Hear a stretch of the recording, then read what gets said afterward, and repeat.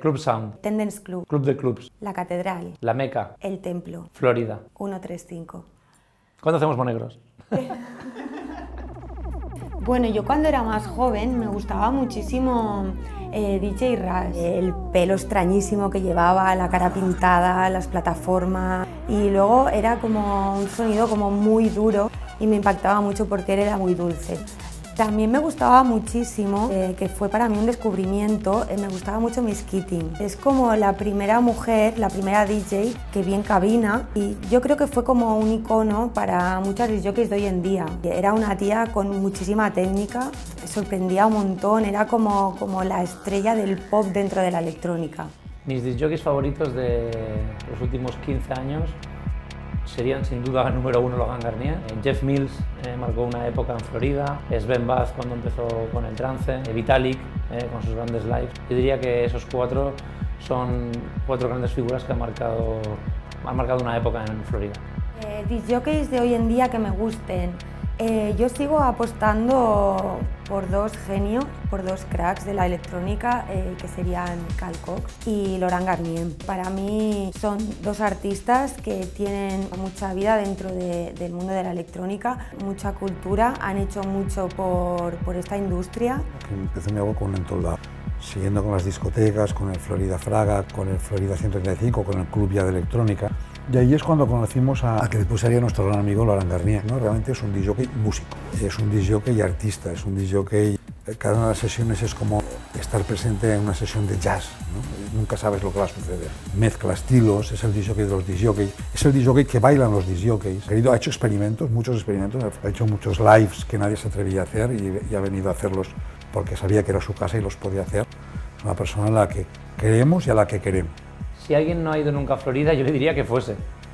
Creo que si vas por primera vez es como que te sorprende muchísimo porque no te esperas el diseño y lo que es en sí Florida 135.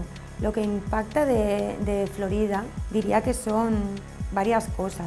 Primero de todo empezando por, por dónde está situada la discoteca, Eh, tener en cuenta que es un pueblo, está en medio de la nada, en Fraga, Huesca. Luego también diría que me impacta el hecho de, de llegar allí y ver una fachada que no tiene nada que ver con el interior. Mucha gente te habla, mucha, mucha gente te dice eh, que son calles, que hay cines, que hay champañería, que hay Frankfurt, que te puedes ir a bailar pachanga, que bailas, que bailas house, pero nadie nadie lo entiende hasta, hasta que va. Como en la época que se diseñó Florida había mentes tan creativas, artistas y arquitectos que pudieran pensar y diseñar eh, lo que es hoy en día eh, Florida en aquellos tiempos. Creo que no hay ninguna discoteca igual y aún ahora sorprende. Entonces imaginaros muchísimos años atrás. La ventaja de Florida es que no puedes explicarlo, tienes que vivirlo.